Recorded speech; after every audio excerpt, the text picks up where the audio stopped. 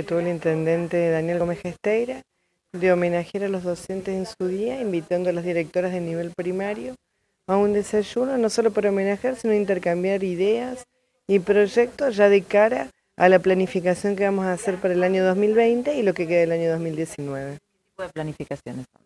Planificaciones en forma conjunta, me parece interesante, así como caracteriza la gestión. Cuando nosotros hablamos de lo que es una gestión comunitaria, decimos nosotros escuchamos las necesidades de la gente, las demandas las transformamos en políticas públicas. De misma forma vamos a escuchar este, a las directoras de las escuelas primarias, vamos a ver en la medida de nuestras posibilidades qué podemos articular, qué podemos resolver y qué podemos gestionar junto con provincia y nación, porque en definitiva trabajamos todos sobre la misma población que son nuestros niños y niñas. ¿Qué respuesta tuvieron cuando le preguntaron a los docentes hacer este desayuno? Mm, eh, la respuesta se ve acá, 100%, han venido todas.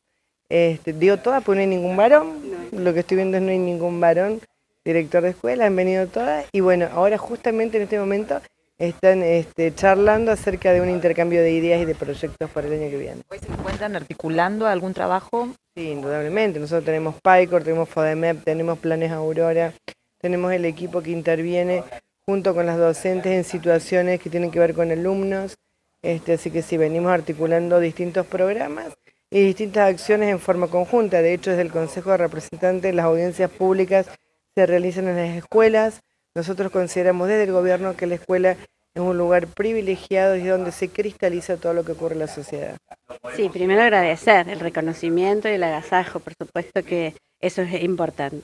Y después, esto de trabajar colectivamente nos parece la mejor forma de acercarnos. Las dos, las dos instituciones, las escuelas son instituciones y si son escuelas públicas, con más razón, acercarnos al municipio y trabajar juntas.